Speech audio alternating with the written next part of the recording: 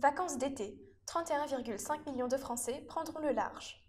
Selon une étude du cabinet ProTourisme, ce sont 31,5 millions de personnes qui partiront en voyage cet été, mois de juillet-août. Par rapport à l'an dernier, il s'agit de 1,3 million de vacanciers de plus.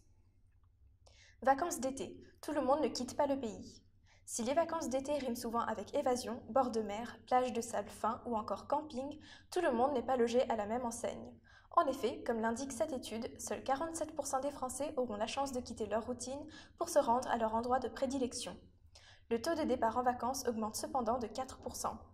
Le sondage note aussi que les plus jeunes, soit ceux âgés de 18 à 24 ans, sont moins nombreux à quitter le territoire français cet été, 49% contre 55% en 2018. ProTourisme analyse les solutions d'hébergement.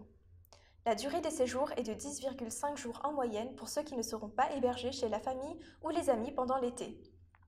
Du côté des solutions d'hébergement les plus prisées, on retrouve l'allocation de vacances, comme les locations saisonnières, les chambres d'hôtes pour 42% des vacanciers. Par ailleurs, ProTourisme révèle que Airbnb, Booking ou encore Abritel proposent plus de 2 millions d'hébergements.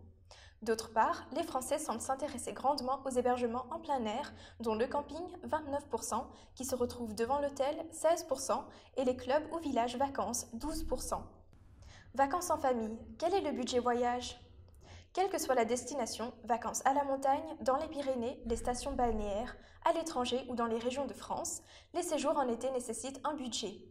Ainsi, pour un séjour en famille, 4 personnes, le budget moyen est de 1787 euros.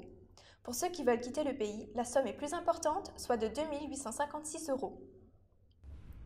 Été, combien de personnes passeront leur congé en France? Enfin, ProTourisme indique que l'Hexagone comptera 1,5 million de vacanciers pendant les vacances estivales cette année. De plus, le cabinet nous apprend que 200 000 Français de moins quitteront le territoire en 2019.